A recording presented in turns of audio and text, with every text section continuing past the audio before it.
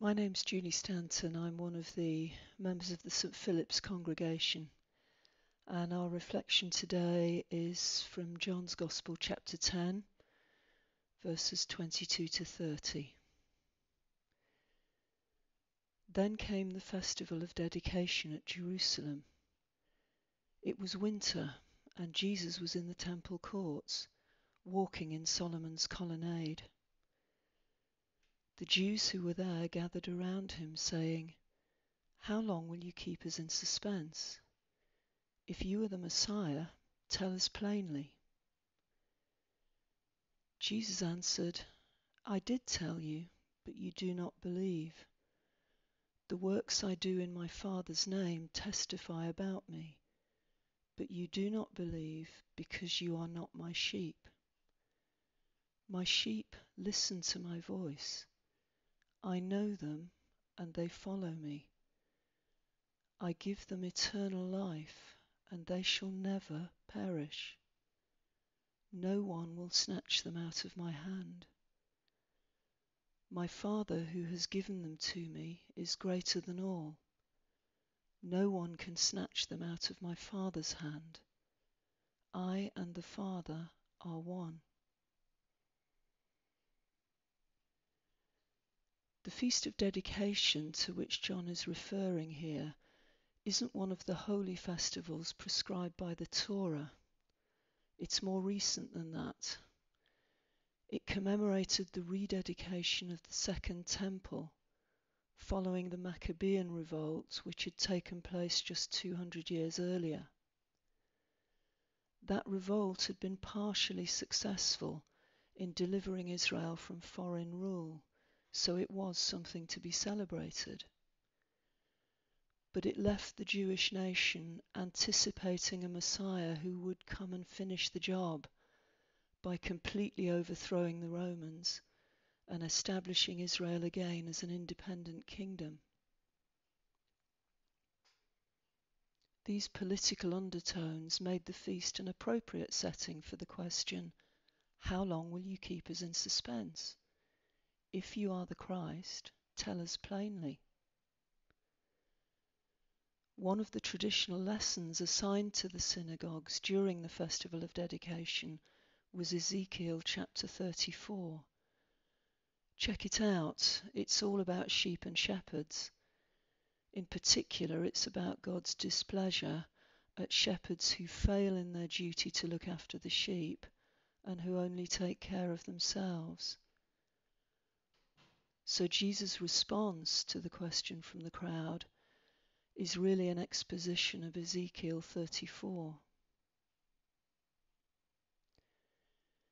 Now, sheep are not known for their penetrating intellect or for their ferocity in self defense.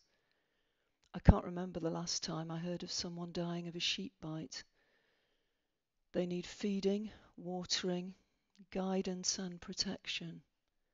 Without their shepherd, they're vulnerable, directionless, prone to stray and get lost and separated from one another. Jesus is the Good Shepherd. He will seek out and save his lost sheep. He'll bind up their wounds, tend the ones who are sick, give them good pasture and a secure place to rest. His sheep are safe with him. He gives them eternal life, and nobody can snatch them away from him.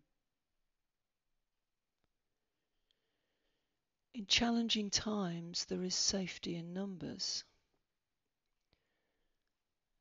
In the times in which we find ourselves at the moment, for those of us who are working away from home, we might need to enter a specific building. We might need to wear particular clothing. We might have a certain job title and specific equipment that helps us to do our job. And all of those things can be helpful in getting us in the right frame of mind, getting us into work mode we work as part of a team everyone in that team is drawing on their training and experience to play their part in a common purpose. As a team member at work at the moment, I know that my colleagues have got my back. I benefit from being part of them. We are better together. And that team spirit and that work mode mentality are particularly helpful when the stakes are high. But despite being a real encouragement on a psychological level and a real help on a practical level, being a member of a team doesn't let me as an individual off the hook. I still have to do my best in any given situation, put my name to it, and then be accountable for it long term. So it is with sheep. It's better, I imagine, to be part of a flock than to be alone and exposed to the elements and to predators. Better to have other sheep to huddle up with on a damp, chilly hillside than to spend the night on your own. For all we know, sheep might pool their resources in the daytime to do a bulk online shop during lockdown they might organise a game of I Spy to sharpen their wits and hone their observational skills. Or they might sing Swing Low, Sweet Chariot to keep up team morale. If my attention has drifted and I'm grazing away with my head down whilst humming to myself, my fellow sheep all looking up at the same time and starting to move in the same direction will alert me to the shepherd's voice and to his leading. So, being part of the flock will encourage me to notice the cues, follow the shepherd's lead, and be less likely to get lost. It's good to be part of the flock. But even so, my individual response is still crucial. Only if I personally hear Jesus' voice, know him and follow him, will I really experience the assurance that he alone can bring. Only by my personal response do I receive confidence and comfort that come from knowing that my Saviour is protecting me through all eternity, and that whatever happens, no thing and nobody can snatch me from his hand. Jesus is the Good Shepherd.